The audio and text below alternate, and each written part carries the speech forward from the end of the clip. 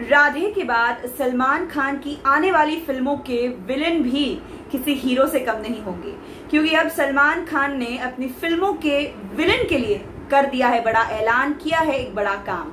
जी हाँ सलमान की आने वाली फ़िल्मों में किस तरह का होगा विलन का किरदार और कौन होगा ये? चलिए आपको बताते हैं। Hello everyone welcome to film window मैं हूँ नित्यांशी और लेकर आई हूँ आपके लिए सलमान खान की आने वाली फ़िल्मों के विलन से जुड़ी एक एक्साइटिंग खबर। लेकिन इससे पहले चैनल को ज़रूर सब्सक्राइब करें और बेल आइकन को ज़रूर हिट करें। और अगर आप चाहें तो मुझे भी मेरे इंस्टाग्राम अकाउंट एंकर नित्यांशी पर फॉलो कर सकते हैं। तो दोस्तों, चाहे वो प्रकाश राज हो वांटेड और दबंग टू में दबंग थ्री में किचा सुदीप हो दबंग वन में सोनू सूद हो, राधे में रणदीप हुडा, गौतम गुलाटी जैसे स्टार्स हो, या फिर अब सलमान खान की आने वाली फ़िल्म टाइगर थ्री के विलन हो।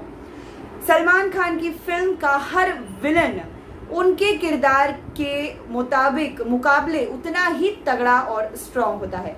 आपको बता दें कि टाइगर थ्री में पाकिस्तानी एजेंट का, पाकिस्तानी एजेंट की भूमिका निभाते हुए नज़र आने वाले हैं इंडस्ट्री के romance master chocolate boy Imran Hashmi जी हाँ इमरान हाशमी सलमान खान के ऑपोजिट विलन का किरदार निभाते हुए नज़र आने वाले हैं टाइगर थ्री में और एक पाकिस्तानी एजेंट की भूमिका निभाएँगे।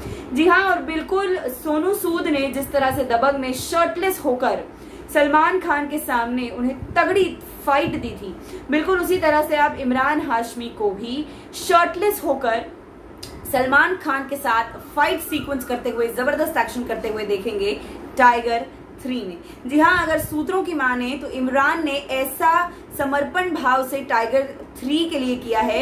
इस फ़िल्म में वो सिक्स पैक एब्स में भी नज़र आने वाले हैं। सलमान के साथ साथ उनका भी फ़िल्म में शर्टलेस फाइट सीक्वेंस दिखाया जाएगा। जो फ़िल्म के डायरेक्टर हैं मनीष शर्मा, जो कि वायर के बहुत ही पॉपुलर डायरेक्टर हैं। वो जो है, वो स्टोरी पर अंकुर और अक्षत का साथ जो है, उनको मिला है, उनके जो राइटर्स हैं। और राइटिंग टीम का भी यही मानना था कि सलमान के सामने इमरान हाशमी का किरदार जो है, वो फीका नज़र नहीं आना चाहिए। इसलिए इमरान को भी एक तगड़ा किरदार दिया गया है। अब क्या सोचते हैं आप? क्या लगता है आपको क्या इमरान हाशमी और सलमान खान आमने सामने किस तरह से नज़र आएँगे? कमेंट ज़रूर करें।